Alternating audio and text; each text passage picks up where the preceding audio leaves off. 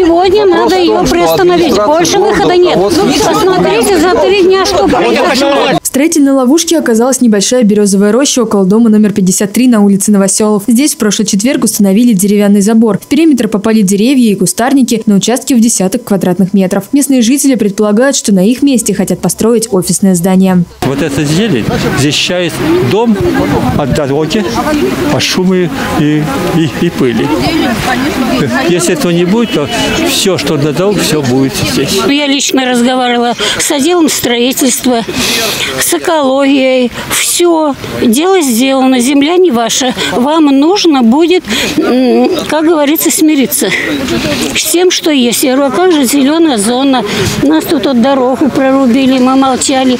Здесь деревья все повыкапывали, мы молчали. поставили. Да, мы молчали. Деревья вот там площадь оставили пустую, мы молчали. А теперь, когда уже пришли под окна, да? Не примут никаких решений.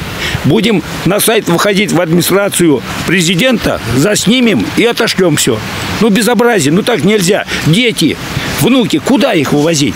По словам местных жителей, еще летом пропали небольшие деревца, которыми был засажен весь участок. Тогда этому не придали особого значения. Теперь против потенциального застройщика объединилось все ТСЖ. Людей поддержала партия КПРФ, однако кому именно предъявлять претензии непонятно. По закону около стройки должна быть табличка с информацией о застройщике, однако за почти неделю она так и не появилась. Мы сами э, вырубаем нашу страну березового сица. К чему мы придем? У нас будет город что? Магазинов? Мы всегда боролись против точечной застройки. И когда идет вот городская дума, коммунисты всегда против точной застройки. Еще 20 лет назад на месте небольшой рощи был пустырь. Его благоустройством жители дома номер 53 занимались самостоятельно. На субботник вышли сразу после заселения. Произошло это в 1998 году. Привозили березки, вот там вот пустырь на полях, сам засев. Вот оттуда выкапывали мы полтораметровый, метровый и сюда приносили.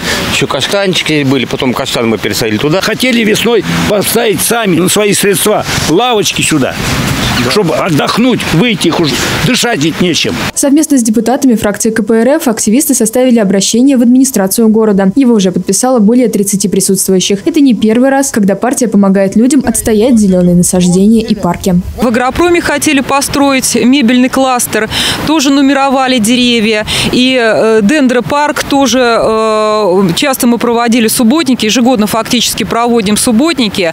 К сожалению, дендропарк из, из использовали застройщики для привлечения покупки квартир. Но дендропарк так такового до сих пор жители и не увидели. И мы, коммунисты, конечно, этот вопрос не оставим без внимания. Фракция КПРФ направила запросы в администрацию города, природоохранную прокуратуру и Министерство природопользования. Мы следим за развитием ситуации. Галина Кудряшова, Станислав Кудряшов, телекомпания «Город».